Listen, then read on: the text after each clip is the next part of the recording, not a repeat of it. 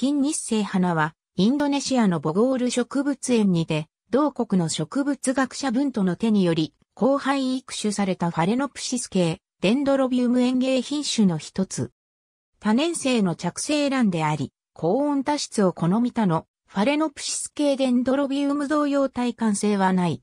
花径は70から 80mm 程度であり、およそ100日ほど咲き続ける。褐色は濃赤紫色で、花弁に明瞭な3つの白斑が認められる。1965年にジャカルタで開催されたバンドン会議に参加した北朝鮮の金日成が同国のボゴール植物園を訪問した際、同園温室にてスカルの大統領がそこで開発されたこの花に金日成を称える胸の県名を申し出た。金日成は一度は辞退したものの、スカルノが必要に県名を進めたのでそれを受けコロナになったとされている。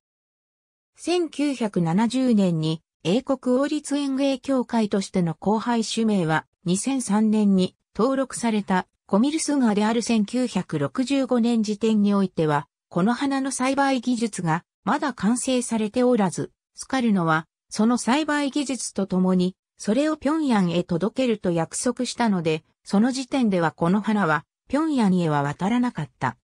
しかし、直後に9月30日事件が発生してスカルノは、失脚、金日成花は、ボゴール植物園長や、育種家の文徒と共にしばらく行方不明となる。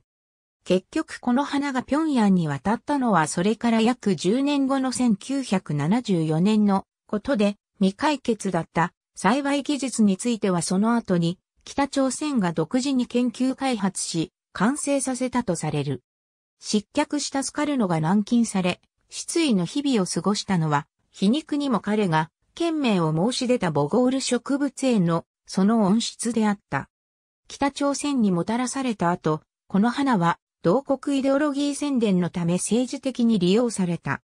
その状態は、金日成の死後、2009年現在に至るまで継続しており、金正日は2005年4月6日に、朝鮮労働党中央委員会宣伝先導部の責任幹部との談話において、金日成花は自主時代の人類の心に咲いた不滅の花であると発言している。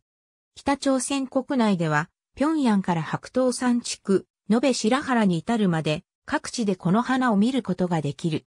同国の中央植物園には、金日成花原種法が設けられており、その種子や苗を増産するとともに、熱帯産で、耐寒性皆無のこの花を咲かすためだけに、冬は氷点下が当たり前の同国内に、その数三百を超える金日成花温室が建設された。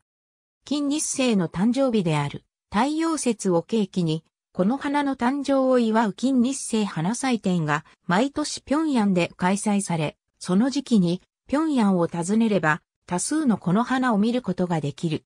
伝統的に平壌に駐在する諸外国の大使は毎年この花の花束を同祭典へ寄贈することになっている。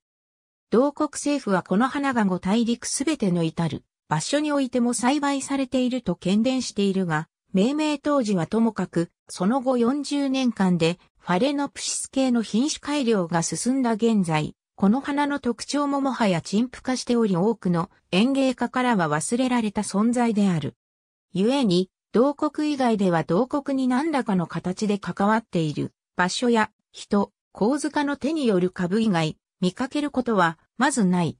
金日成の息子、金正日を称え開発された金正日花の名を持つ球根ベコニア園芸品種も存在する。どちらも熱帯産で北朝鮮には自然分布しておらず、故に国家ではない。ちなみに、同国の国家は大山レンゲである。2009年11月30日発行の新一、ウォン効果の図案に用いられている。1、http://apps.rhs.org UK ホーティカルチャーリュダタベースオーキドレジスターオーキッドディテイルズアスプ ID イコール57200ありがとうございます。